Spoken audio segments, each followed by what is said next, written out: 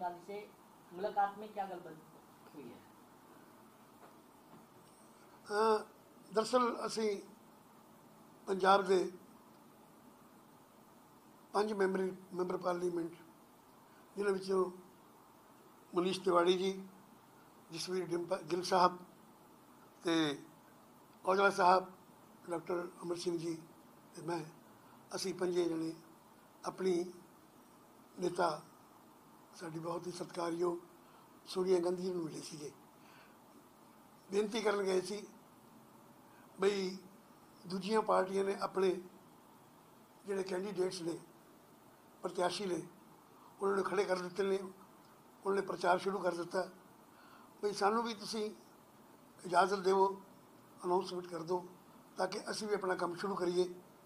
ਮਾਹੌਲ ਕਾਂਗਰਸ ਪ੍ਰਤੀ ਬਹੁਤ ਅੱਛਾ ਹੈ ਇਸ ਵੇਲੇ ਔਰ ਇਹ ਮਾਹੌਲ ਜਿਹੜਾ ਚੱਲ ਰਿਹਾ ਤੇ ਇਸ ਜਦੋਂ ਅਨਾਉਂਸਮੈਂਟ ਹੋ ਗਈ ਤੇ ਮੈਂ ਸਮਝ ਅਸੀਂ ਸਮਝਦੇ ਹਾਂ ਵੀ ਬਹੁਤ ਅੱਛਾ ਹੋਊਗਾ ਤੇ ਉਹ ਕਹਿਣ ਲੱਗੇ ਤੁਸੀਂ ਖਬਰ ਕਰਾਓ ਨਾ ਇਹ ਬਿਲਕੁਲ ਸਾਡੇ ਵੀ ਦਿਮਾਗ 'ਚ ਗੱਲ ਹੈਗੀ ਹੈ ਇਹ ਛੇਤੀ ਹੀ ਦੋ ਤਿੰਨ ਮਿੰਟ ਦਿਨਾਂ ਦੇ ਅੰਦਰ ਅੰਦਰ ਹੋ ਜਾਊਗਾ क्या ये भी एक वजह रही है कि जो दूसरे लोग दूसरी पार्टियों में जा रहे हैं कांग्रेस के लोग कि जल्दी से जल्दी अगर अ, उम्मीदवारों की घोषणा हो जाती है तो ये रुक सकता है ਨਹੀਂ ਮੈਂ ਆਪ ਜੀ ਨੂੰ ਸੱਚੀ ਗੱਲ ਦੱਸ ਦਵਾਂ ਅਸੀਂ ਕਿਸੇ ਦੀ ਸ਼ਿਕਾਇਤ ਕਰਨ ਨਹੀਂ ਸੀਗੇ ਕੋਈ ਜ਼ਰੂਰਤ ਨਹੀਂ ਪੈਂਦੀ ਜਿਨ੍ਹਾਂ ਨੇ ਜਾਣਾ ਹੈ ਉਹਨਾਂ ਦੀ ਆਪਣੀ ਮਰਜ਼ੀ ਹੈ ਨਾ ਤਾਂ ਉਹਨੂੰ ਕੋਈ ਭੇਜਦਾ ਹੈ ਜੀ ਜਾਣਾ ਉਹਨਾਂ ਨੇ ਆਪਣੀ ਮਰਜ਼ੀ ਨਾਲ ਹੁੰਦਾ ਤੇ ਇਸ ਕਰਕੇ ਇਹ ਗੱਲ ਹੀ ਨਹੀਂ ਕੀਤੀ ਗਈ क्योंकि जाने वाले कभी वापस नहीं आते इस करके इस टॉपिक की कोई गल नहीं हुई क्या जिस तरीके से पाँच सांसद जो है वो मौजूदा सांसद जो है मुलाकात की है क्या लगता है कि जो उनकी जो टिकट है वो पक्की है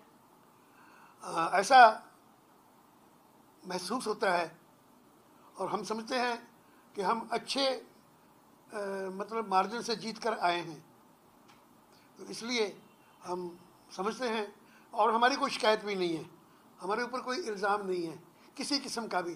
वैसे आमतौर पे सियासतदानों पर इल्ज़ाम लग जाते हैं लेकिन हमारे पाँचों के ऊपर कोई भी ऐसा इल्ज़ाम नहीं है जो कोई शिकायत कर दे हमारी।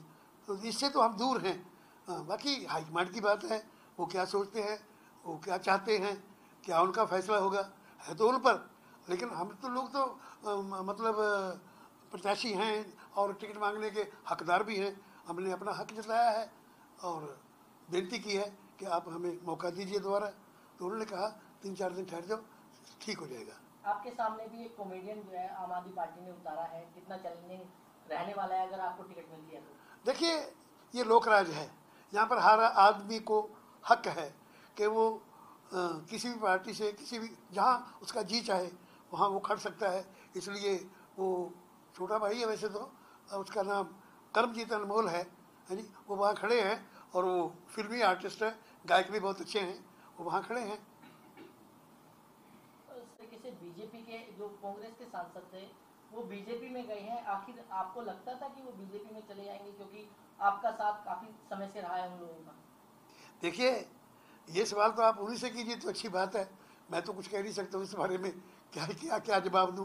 कैसे कैसे मैं कह सकता हूँ कि हाँ फला आदमी मुझसे पूछ कर गया है या मेरे सलाह मशवरे से गया है? ऐसी तो कोई बात नहीं है। तो आपकी तैयारी कैसी है अगर बात करें? देखिए हम लोगों ने अपने अपने हलके में पाँच सालों के काम किया है। और लगता ऐसा है कि लोगों ने इस काम काम को प्रवान भी किया है। उन्होंने मान्यता भी दी है प्रवान किया है काम हमारा, हमारी सेवा कबूल की है। उन्होंने हमें बहुत उम्मीद है कि हम दोबारा जीतेंगे।